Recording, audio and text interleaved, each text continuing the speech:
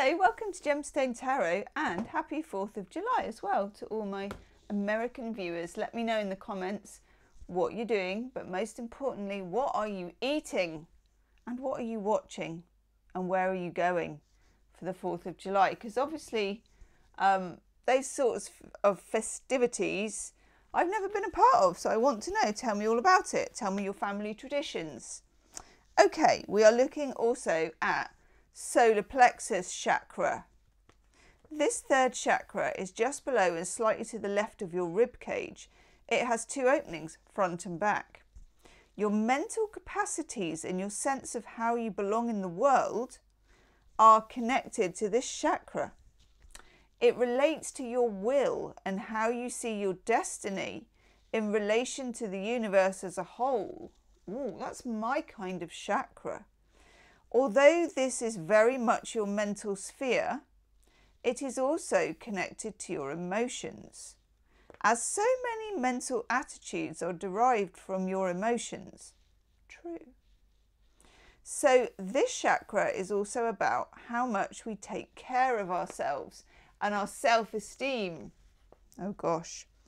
It's a chakra that healers use when giving healing. This will be discussed in part two. If this chakra is functioning fully, you will have a great sense of belonging and you will have an expressive emotional life which creates mental satisfaction and fulfillment rather than worry. This chakra's physical connections are to the organs within solar plexus area stomach, liver, gallbladder, pancreas, spleen, and the nervous system. The related words are I think. The associated colour is yellow. There you go. There's our little bit from the. Oh, because I actually feel like that book might even be mouldy. What is that?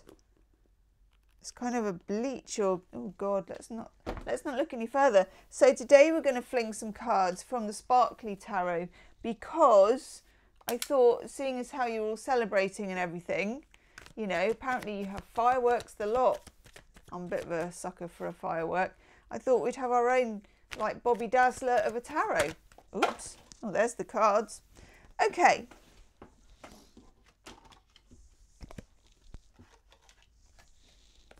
Oh, gosh. Got three, but I want to take a couple more. Wow. It's going to be one of those days where, you know, it's like one of those kind of celebratory days and then I I just turn up to the party with my party hat and my turd on a plate. Do you know what I mean? I'm like, everybody, catch a whiff. oh, God. Yeah, totally. Okay. Might as well have used the gummy bears if we wanted it this doom laden. Wish I was doing reversals, but I'm not. Okay. It is what it is it is what it is. I'm going to put those in order. God, what's going on, folks? Maybe this is because you're like spending long periods of time with your family. Ah. okay. Overall energy, and can we get some of those yeehaw stars? I can't even get the stars to work. Oh my God. No, sort of. You can sort of faintly see them, can't you, in the background? Swing. Okay, the Fool. Major Arcana, zero card, lots of fun, um, celebration, yes, and a feeling that new cycle. And looking at the other cards, though, I see this more about almost bravery and vulnerability. Because, yeah, okay, look, we get the Two of Pentacles, Jupiter and Capricorn, the need to recreate something, the need to reconfigure something. You can't get rid of it, you might not even want to get rid of it, but you got to play this game a different way, you know? Folk Lady is at the 4th of July celebrations and she's dancing, but she's saying, you know, I'm going to dance to the beat of a different drum. I'm going to, I'm going to, I don't know what I'm doing now, some sort of weird like dad at the wedding meets the robot. Yes, dad at the wedding does the worm. Um, yeah, you're spinning it through different constellations and you're thinking, this may be that someone has brought you a turd on a plate and you're like, there's no good end to that. What can I do with this? How can I glitter it? Or how can I at least take a different journey? Said journey. I journeyed on you. I'm sorry. Take a different direction and start something anew. This is a big deal to do it this way. You know, what they don't talk about with the Fool, itchy nose, oh, is that it can often be taking that first leap can feel like hard work because you're going against the grain and you're also going against your comfort zone and sometimes even your instincts, but there's like deeper instincts in your situation. You've got your kind of surface level instincts and then you've got the stuff that's deeper where you're actually your wisdom lies okay? And we've talked about this a lot in the last few days actually about where your wisdom lies. And i guess and this is very interesting that solar plexus too is about truth isn't it you know in the Brian and Wendy Froud in the heart of the fairy oracle you've got that man and he's got like the kind of skeleton thing and then there's the solar plexus and it's called the speaker of truth. And i'm really really getting that card coming to mind. You need to live in your truth. You need to speak your truth. But at the same time you need to get through a certain quite complex process. We have the seven of swords now this can mean that somebody has kind of slipped something by you or brought you a turd on a plate or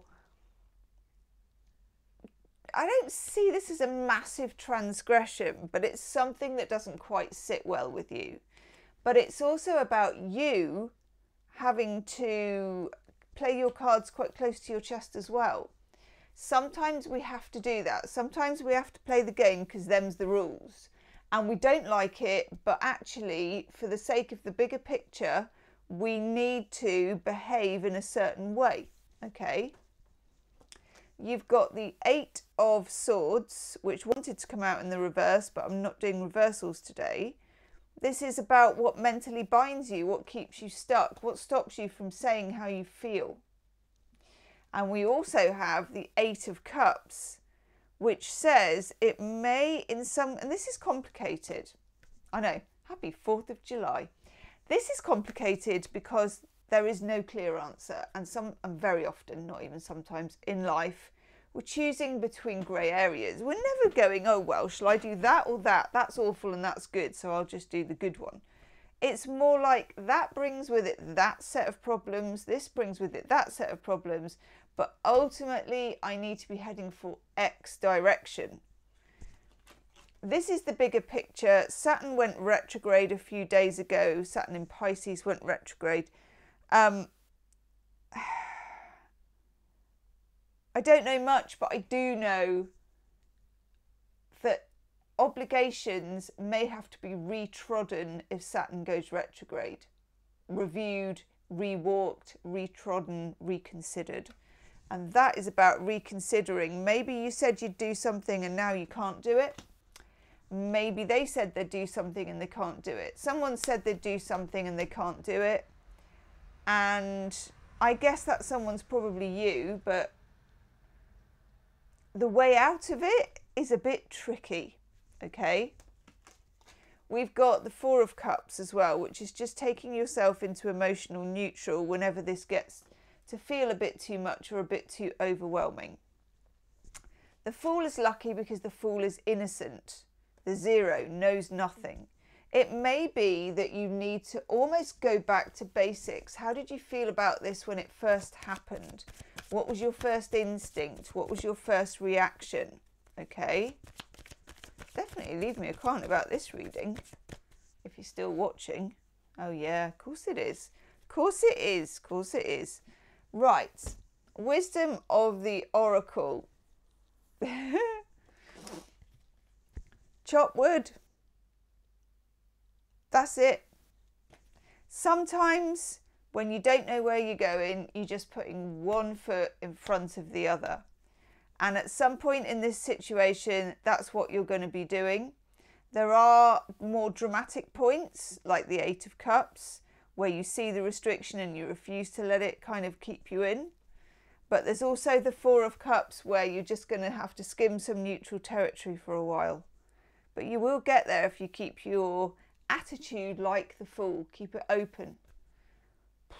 What reading! Okay, leave me a comment, let me know, and I will see you tomorrow. Namaste.